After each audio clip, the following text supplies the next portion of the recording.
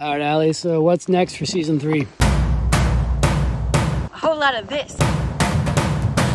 Welcome to Clayoquot Sound. Don't save for retirement, live your life while you're alive.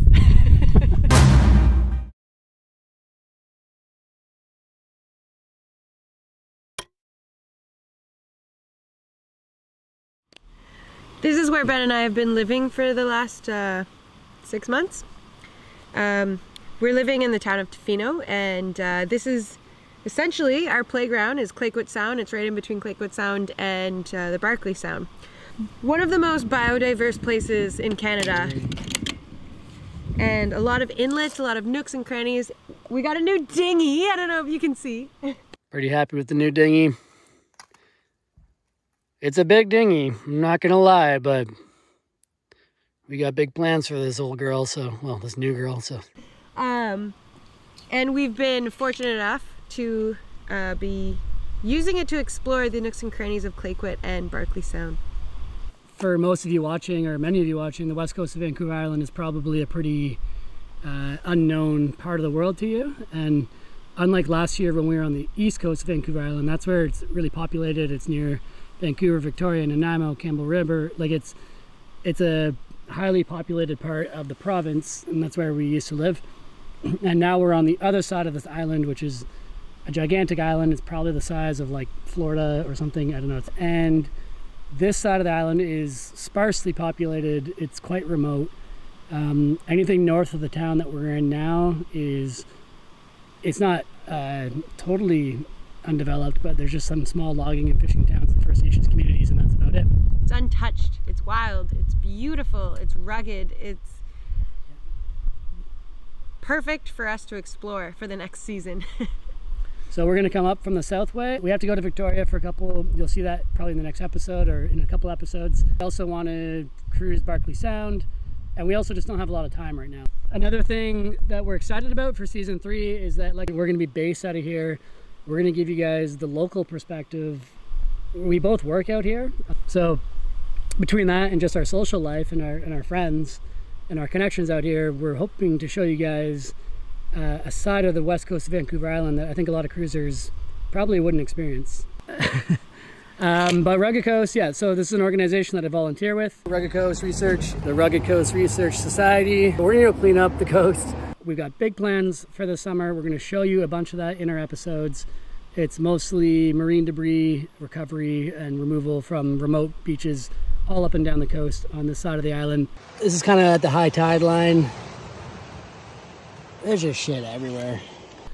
And we've decided that every dollar that we make Going from forward. Patreon in season three on the west coast of Vancouver Island, a percentage of that is going to go directly to Rugged Coast Research Society, and and yeah, we'll donate a portion of our revenue this year. We've got we've got some boat project stuff to catch you guys up on, and then we'll be- looks sweet as trucks. Eh, I mean, she's getting there. She's got a long way to go. In true boating fashion, we found out that a lot of our jobs that we're supposed to be doing today are going to be a lot bigger than we had planned.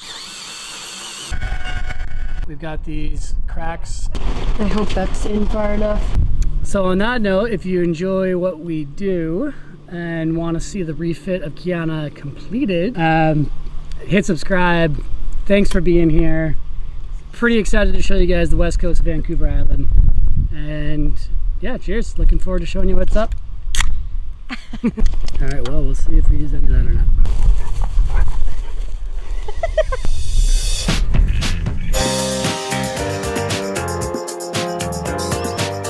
So I'm heading up the coast today. I'm gonna take a flight um, and go visit one of my projects that we'll be showing you guys later in season three.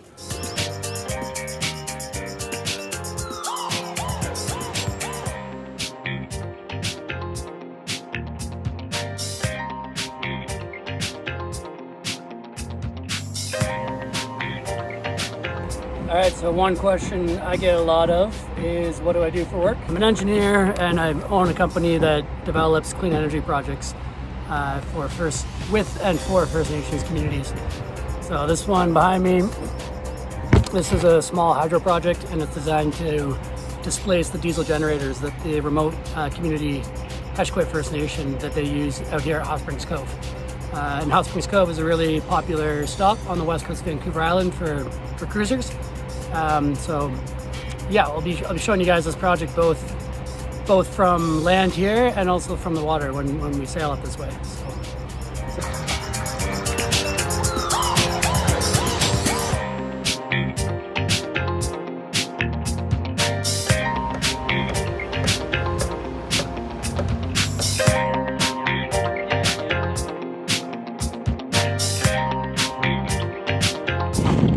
Hey Benjamin, someone asked, what are, so we just got a new transducer, what are our plans for the rest of our electronics? Ah, very good Ah! question. Very good question. Well, first of all, I'm going to win the lottery, and we'll link our Patreon below. Rude.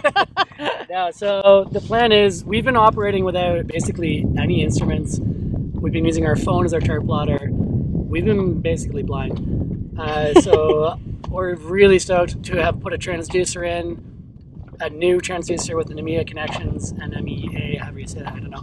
We bought a we bought a Zeus 3 7-inch B&G chart plotter, and that's going to be the beginning of bringing Kiana from 1980 to 2021, I think is the year. And so, what's next for electronics? Um, first, we got to set that up. The transducer's in. We got to install the chart plotter now. We got to figure out how that's going to mount. We're going to mount it at the helm. Um, after that, I think the biggest priority would be the wind instrument at the top of the mast. I'd love to have that next. a windicator. Um, wind indicator. After that, I think our priority is either the digital radio with the AIS. We want the transceiver and the responder. It's more expensive, but honestly, I think it's totally worth the money to have both. That would probably be the next thing, and then after that, we'll do. We're gonna do three uh, Triton displays that give you like wind, depth, speed, and all that kind of stuff, so that you don't have to be at the helm to see all that. You can see it from anywhere in the cockpit. We're gonna mount it over the companionway. companionway, and then the last thing, well, two more things actually. Eventually, I'd love to put a, a new radar that connects to all of that. And then the final thing would be another screen, probably a Vulcan 9, a 9 inch touchscreen that goes at the station, the pilot station on the inside. And that everything can connect to everything and you can be anywhere on the boat. And either we'll do we'll either do the Vulcan 9 or we'll just do an iPad that's like removable from the wall. But yeah, that's sort of the longer term plans for Kiana's electronics. We're we're just stoked to have depth at this point. That's, it's, it's super exciting for us.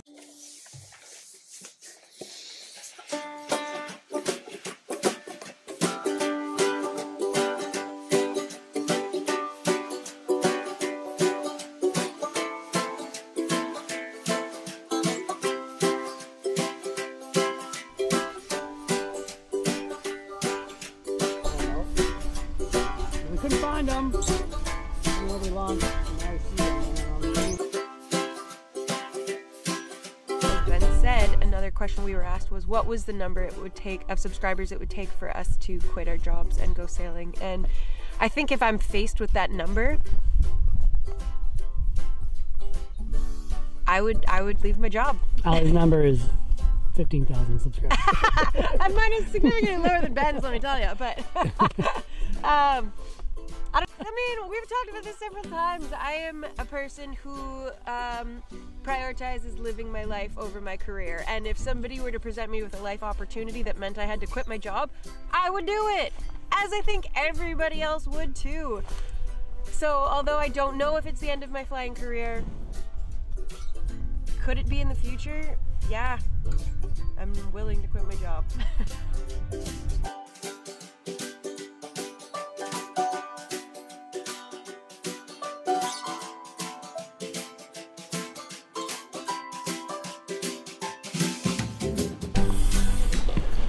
Okay, another question was Do we have radar for the west coast of Vancouver Island? Which is a good question because in the summer months they call it Foggust for August because it gets so foggy, usually every morning until about 11 a.m. or 10 a.m., and then the fog burns off.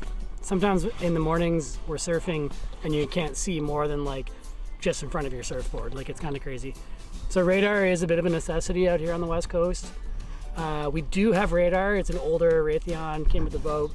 We don't really know how to use it, but it does work. So we gotta we got to figure that out because I don't want to be caught out in the fog and not know how to use my radar.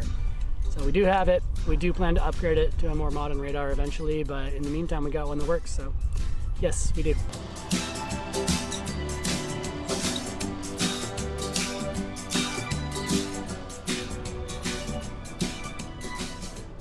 What does your tattoo say, Alie?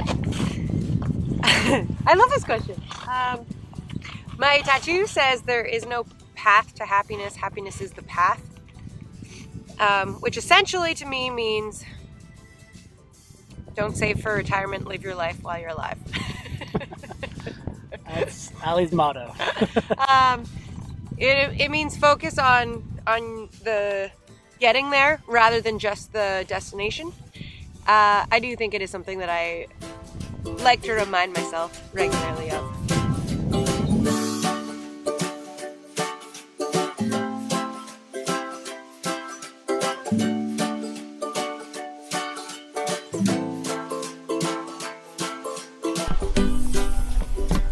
Well, since I had to answer it, how about you? What's my number? What's your number in order to that, of subscribers that you would need in order to quit your job? Yeah, so as Alie alluded to, I think the the actual question here is how much YouTube income do we need to make before I can say, you know what, as much as I enjoy what I'm doing and I'm proud of my business and all that, um, that's over. And now this is obviously the path forward. You know, it, it is lucrative enough to make it worthwhile to quit my job. And for me, it's kind of a loaded question because I'm a, I'm a business owner, I'm a partner in a business, and I'm, I'm really proud of what we do and what we've built. And, and it's been a really big struggle to get to where we are now. And so, but now it's going really, really well. and I also think it's important work. And, and anyway, all this to say, this we're not going to quit our jobs this season because we're living and working in this amazing West Coast Vancouver Island that we're super stoked to show you guys. And then even after that, we've we've already organized a year off. Like I've agreed to a year off with my business partners, and it's it's out in the open. It's out in the it's it's not. I'm not hiding anything from anybody. And so we've got like three years ahead of us of breaking waves production before we have to actually look at potentially leaving our careers or my career anyway. So so yeah, it's very attainable when you think about it.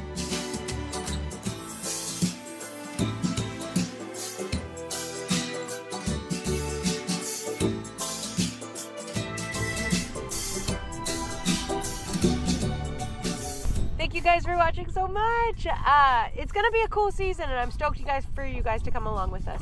Uh, if you haven't already, please hit subscribe, check out Patreon, hit that like button, all that good stuff. Uh, and thank you to our patrons who have joined us along the way. Um, and this is just a reminder that a portion of all the proceeds that we get from Patreon is going to go to Rugged Coast Research Society, which is a community of people who gather together to clean up the ocean and clean up the beaches and uh, help remove ghost fishing gear from the ocean. So check out Patreon if you haven't already, www.patreon.com slash breaking waves sailing, and we will see you, in the, see you at the next episode.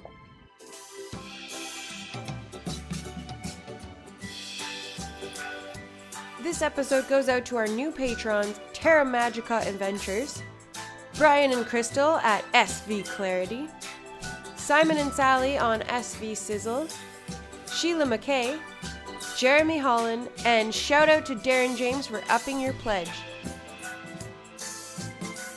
Thank you guys for coming along with us, and we will see you at the next episode. Welcome to season three.